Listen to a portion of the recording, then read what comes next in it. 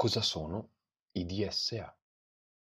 Ogni persona ha un suo modo unico di vedere e costruire il mondo.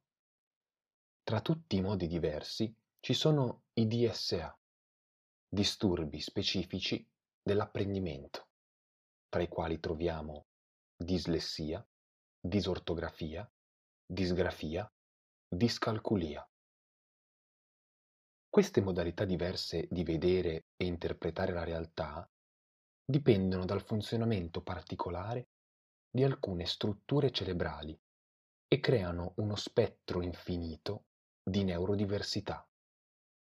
La neurodiversità è semplicemente un modo peculiare di ragionare, è una caratteristica della persona e il suo simbolo è uno spettro infinito.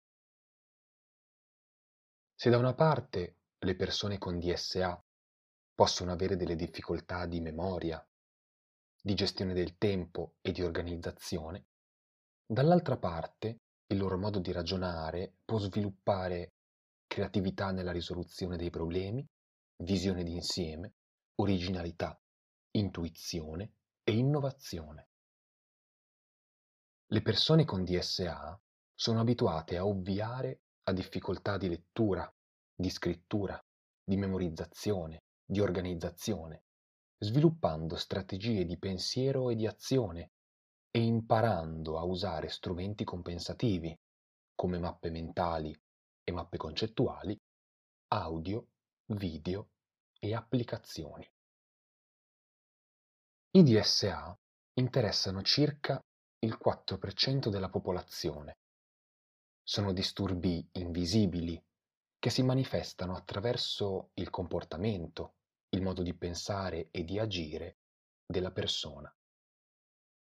Nel mondo del lavoro, questa invisibilità può essere un vantaggio perché ci dà la libertà di svelarci se, come e quando vogliamo. Nello stesso tempo comporta però uno svantaggio perché per le persone non è facile comprendere quello che non è visibile.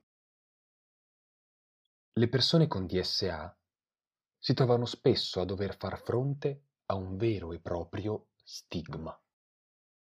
Possono essere considerate pigre, svogliate o addirittura incapaci e possono trovarsi spesso a giustificare tempi o errori. Il problema non è mai il DSA ma l'ambiente, gli stereotipi, la mancanza di tutele e buone prassi. In Italia la legge tutela le persone con DSA durante il percorso scolastico e universitario. Nel mondo del lavoro sono state da poco introdotte tutele per quanto riguarda i concorsi pubblici. Non sono previste tutele nella selezione del personale nel mondo del lavoro privato.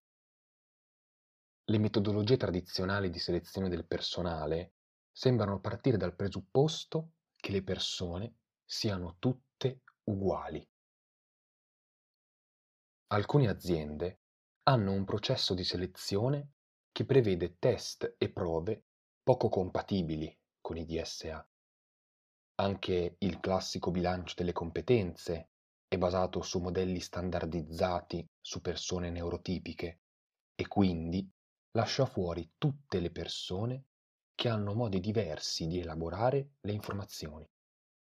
Queste cattive prassi, le brutte esperienze passate e la paura dello stigma portano le persone con DSA a nascondere questa loro caratteristica e questo può avere un prezzo molto alto in termini di stress e fatica.